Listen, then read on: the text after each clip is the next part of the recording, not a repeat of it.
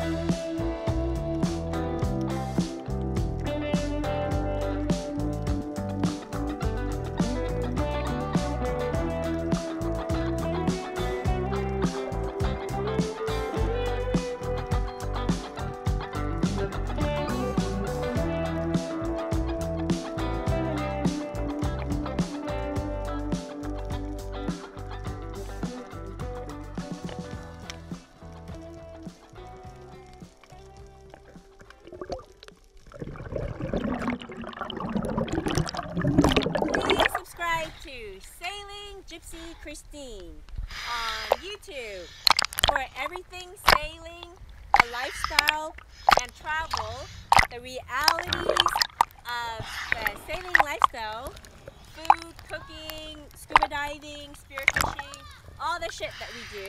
Please subscribe to Sailing Gypsy Christine. Please subscribe. Thank you.